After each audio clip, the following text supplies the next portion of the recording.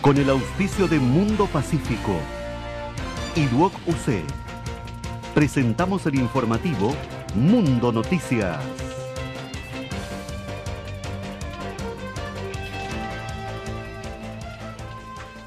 ¿Qué tal? ¿Cómo están? Sean ustedes eh, bienvenidos nuevamente a una nueva edición del informativo Mundo Noticias. Eh, como siempre, a través eh, de nuestras pantallas acá en su canal Mundo TV. Queremos comenzar, por supuesto, de inmediato dándoles a conocer los principales titulares del día de hoy. Con enfrentamientos entre carabineros finalizó en Coronel la primera marcha nacional convocada por los estudiantes. Vecinos de Villa Mirador de Arauco se reúnen con autoridades para solucionar fallas en sus terrenos. Autoridades y dirigentes vecinales de Curanilahue inauguraron ampliación de sede vecinal en Tucapel. Solo el 42% de los menores de Coronel se han vacunado contra la influenza.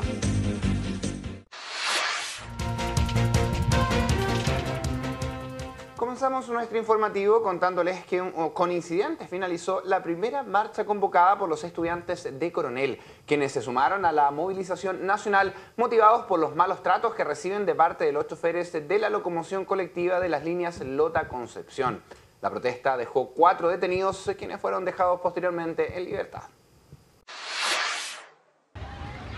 Con incidentes terminó la movilización convocada por los estudiantes de la comuna de Coronel, quienes además de sumarse al territorio nacional, protestaron por los malos tratos que reciben de parte de los choferes de la locomoción colectiva Lota Concepción. Los estudiantes llegaron hasta el sector del Prevetren de Lagunillas, donde se manifestaron en forma pacífica, ya que están cansados de la discriminación que reciben diariamente, acusando además que muchos choferes les cobran el pasaje completo, pese a que tienen derecho a tarifa rebajada. Los estudiantes del Liceo Coronel, del Liceo Comercial, nos reunimos para hacer una convocatoria contra los buses que no nos paran a nosotros. O sea, nosotros todas las mañanas tenemos que salir casi a las 7 de la mañana para poder llegar a nuestro respectivo liceo. Gente que vive vive en Lagunilla, gente que vive en San Pedro, por el tema de taco y porque los buses no nos quieren parar. De un momento a otro, los estudiantes cambiaron los gritos y pancartas por piedras y palos, los cuales lanzaron contra carabineros, quienes se trataban de disuadirlos lanzando lacrimógenas contra los manifestantes, viviéndose también escenas de agresiones físicas, dejando como saldo cuatro estudiantes detenidos, quienes fueron dejados en libertad posteriormente. Nosotros estamos aquí, no estamos haciendo nada, no hay ni un encapuchado, estamos solamente tratando de manifestarnos, dándole a conocer a los micros que nosotros estamos molestos por lo que ellos están haciendo. Y cuando nosotros estábamos aquí, un carabinero se acerca y empiezan a pegar patadas en las canillas. Los estudiantes planean reunirse nuevamente, pero esta vez convocando los liceos de Coronel y Lota para exigir una solución a las denuncias que han hecho por años contra los choferes de estas líneas de buses. Preocupación existe entre los vecinos de la Villa Mirador de Arauco, ya que los terrenos donde se construyeron sus viviendas han presentado graves problemas de inundaciones, lo que quedó demostrado, por supuesto, en los últimos temporales, por lo cual se reunieron con autoridades y representantes de la constructora para encontrar una pronta solución, ya que sus viviendas fueron entregadas solo hace algunos meses. Los graves problemas que presentaron los terrenos en donde se emplazan las viviendas de la segunda plataforma del conjunto habitacional Villa El Mirador en Arauco tras el intenso temporal de fines de abril fueron abordados por las autoridades comunales, representantes de la empresa constructora, profesionales del Servio y los propios vecinos afectados. En la ocasión, la cuestionada empresa se comprometió a responder ante esta problemática, pero antes se realizará una evaluación técnica en cada uno de los terrenos de las 310 viviendas un informe que será consensuado con los vecinos del sector. No hay fallas estructurales en las viviendas, lo que hay es un problema de compactación en los terrenos que están adosados a los muros de contención. Este es un terreno muy difícil de construir, muy muy difícil. Hubo que generar muchos muros de contención. Ahora, para poder colocar el muro de contención, obviamente había que cortar el terreno y después el, el suelo que se repuso no fue bien compactado. Por eso es que se dio en algunos casos muy poco y en algunos otros casos un poco más significativamente. Pero la idea es que se va a solucionar. Técnicamente tiene solución y no va a afectar la estructura de la vivienda. En la ocasión, la cuestionada empresa se comprometió a responder ante esta problemática, pero antes se realizará una evaluación técnica en cada uno de los terrenos de las 310 viviendas. Un informe que será consensuado con los vecinos del sector. Que la empresa, por supuesto, como corresponde, va a solucionar. Ahora, para esto, con el señor alcalde se llevó el acuerdo de hacer un estudio previo de la situación y con ello llegar a una, a una tipología de obra que va a sancionar el, el servio técnicamente y ese consolidado va a ser socializado con los vecinos.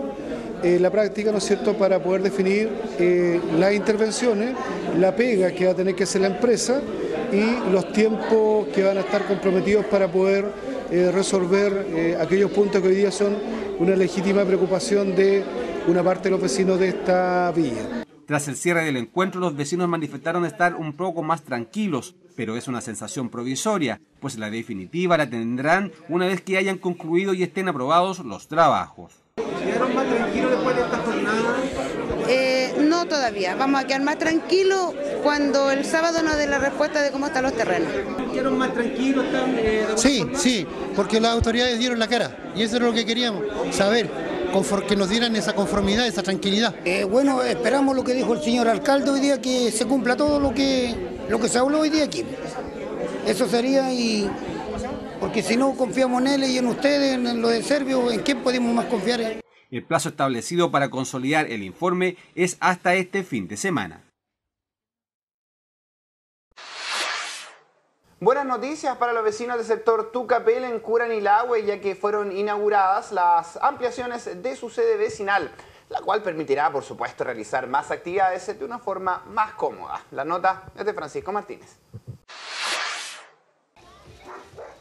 Autoridades de la comuna junto a dirigentes vecinales del sector inauguraron la ampliación de la sede Tucapel 14C Tres fueron los presupuestos participativos y un proyecto Fondebe que se adjudicaron en esta unidad vecinal.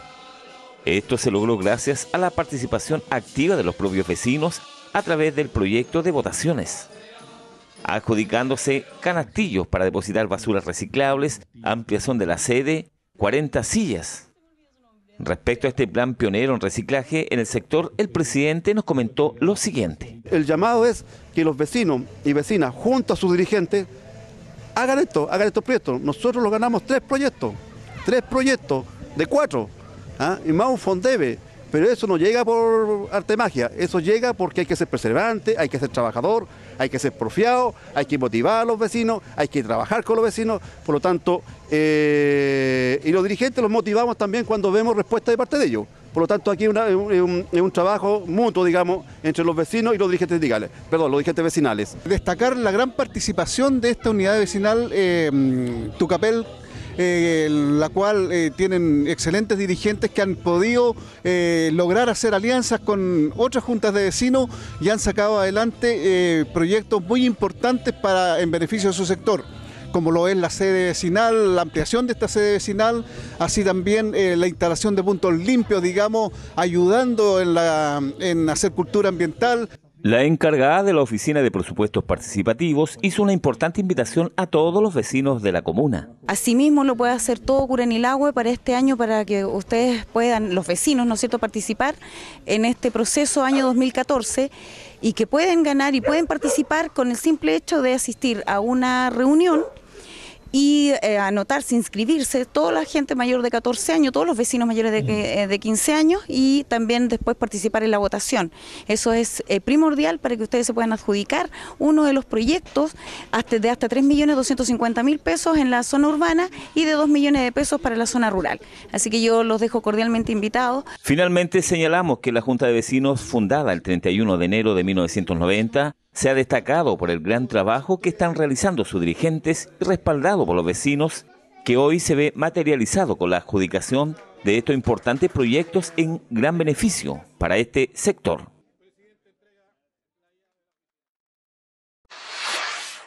El sábado 17 de mayo finaliza la campaña de vacunación contra la influenza y en la comuna de Coronel están preocupados porque solo el 42% de los niños menores de 23 meses se han vacunado, por lo cual hacen un llamado a los padres a quien acudan a los centros de salud de la comuna para prevenir así esta enfermedad, la cual en algunos casos podría causar la muerte.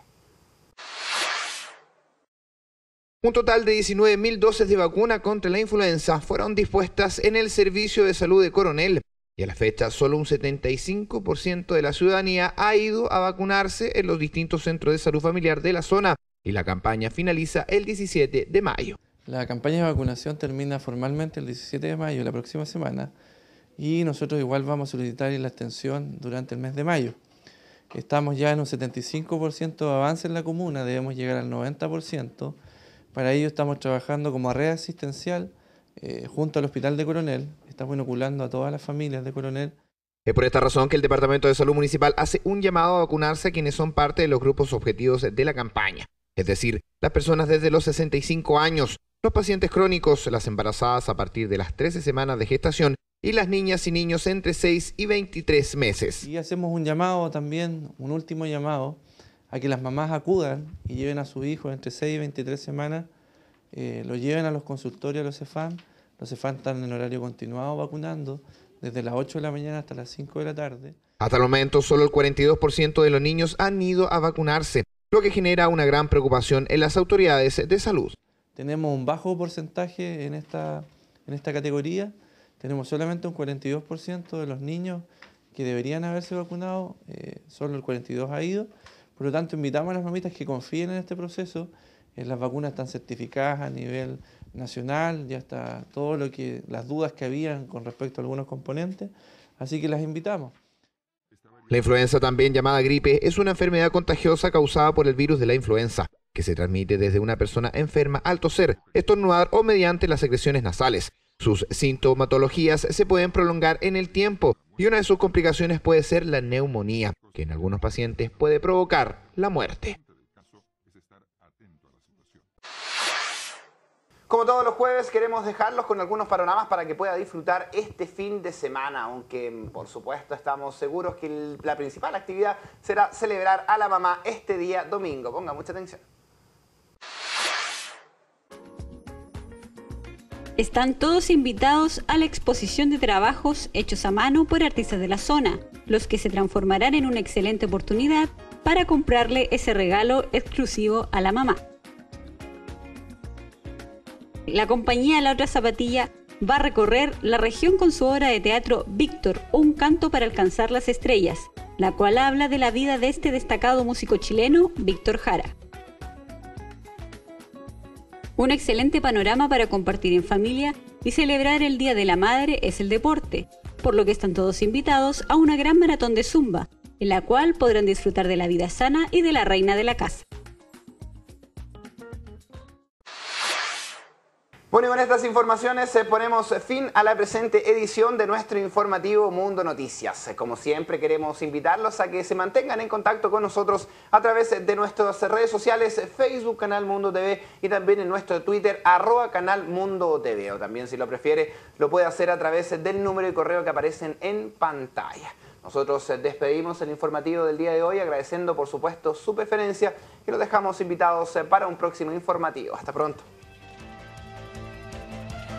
Mundo Pacífico y Duoc UC presentaron el informativo Mundo Noticias.